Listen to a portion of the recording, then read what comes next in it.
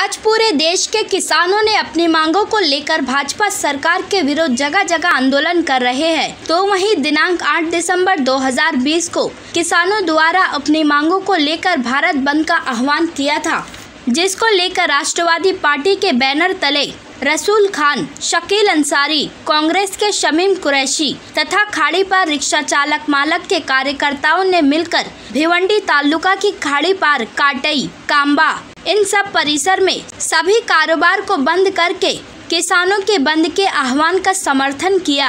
आइए देखें इसकी एक रिपोर्ट। शेतकरी आंदोलन जय जवान जय किसान जय जवान जय किसान वही यहाँ पर राज करेगा किसानों के हित की बात करेगा वही यहाँ पर राज करेगा काला कानून वापस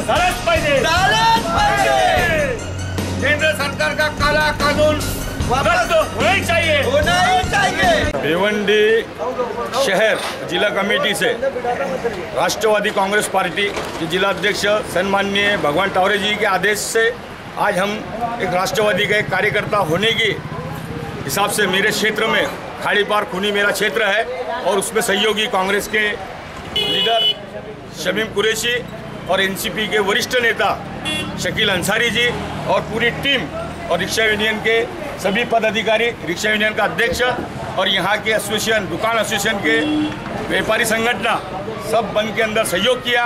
मैं उनको राष्ट्रवादी की तरफ़ से भी अभिनंदन करता हूँ और भारत बंद का जो आह्वान शेतकरियों ने किया, ये काला कानून नाफिज जो केंद्र सरकार ने किया, उस काले कानून के निषेध के अंदर आज यहाँ के व्यापारी संगठन, रिक्शा यूनियन यहाँ के मेहनत मेहनतकश लोगों ने इस बंद के अंदर तन मन धन से सहयोग दिया ताकि ये काला कानून जो मोदी सरकार ने नाफिज किया। एक काला कानून जल्दी से जल्दी वापस होना चाहिए। नहीं तो इस, एक बड़ा आंदोलन इस देश के अंदर छेड़ने की शक्यता नकारता येत नहीं और सौ टक्के बड़ा आंदोलन छेड़े बिगड़ रहेंगे नहीं, ये मोदी सरकार को उखाड़ फेंकने का काम ये भारतीय नागरिक ही कर सकते हैं इस देश के अंदर।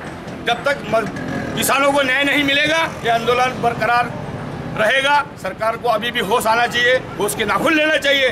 और मोदी सरकार ने इस काले कानून को जल्द से जल्द रद्द करना चाहिए ऐसी मांग हमारे खाड़ी पार खूडी क्षेत्र के तमाम नागरिकों से और तमाम राजकीय पक्ष के नेताओं से और तमाम एनजीओ चलाने वालों से और रिक्शा यूनियन वालों ने आज इस बंद के अंदर सहयोग दिया। मैं सभी को, सभी का अभिनंदन करता हूँ और सभी नागरिकों को, जो मेहनतकश नागरिक है, इन्होंने अपना रोजी रोटी छोड़कर इस शेतकरियों के खंधे को खंधा लगाकर एक ज़ाहिर पाठिंबा ज़ाहिर किया। मैं उनका भी अभिनंदन करता हूँ। जय हिंद। जय भारत, जय महाराष्ट्र। आज का ये जो आंदोलन है, आज का ये जो आंदोलन है, ये ज़रूरी है कि ये किसान से जुड़ा हुआ है। लेकिन किसान जो है, वो हिंदुस्तान की बहुत बड़ी ताकत और बहुत बड़ी जान है।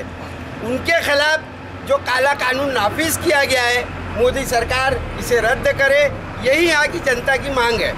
और हर व्यापारी के लोग, हर लोग, हर समाज के लोग किसानों के साथ में है, क्योंकि हिंदुस्तान है। और किसानों को पाटिंबा देना हमारा ये अखलाकी फ़र्ज़ है। बहुत सारे लोग जो है, ये सोच रहे कि ये सिर्फ़ किसान किसान लोगों का आंदोलन है। ये किसान लोगों का आंदोलन नहीं है, बल्कि भारत के हर उस नागरिकों का आंदोलन है जो अन्याय के खिलाफ है।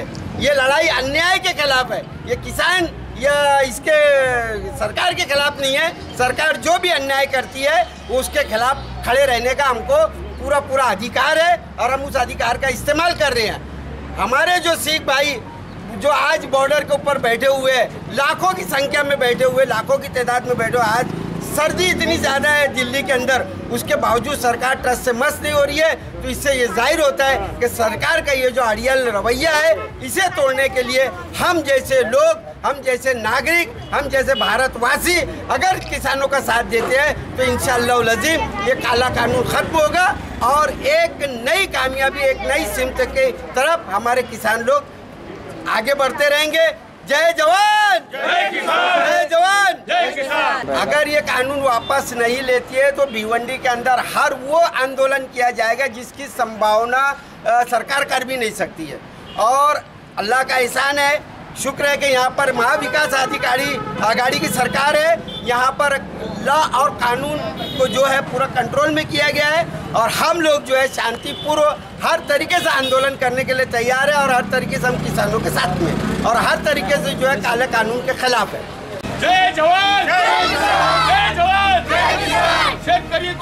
मिलना ही चाहिए। का काला कानून नाफिज पाहिजे 我的选择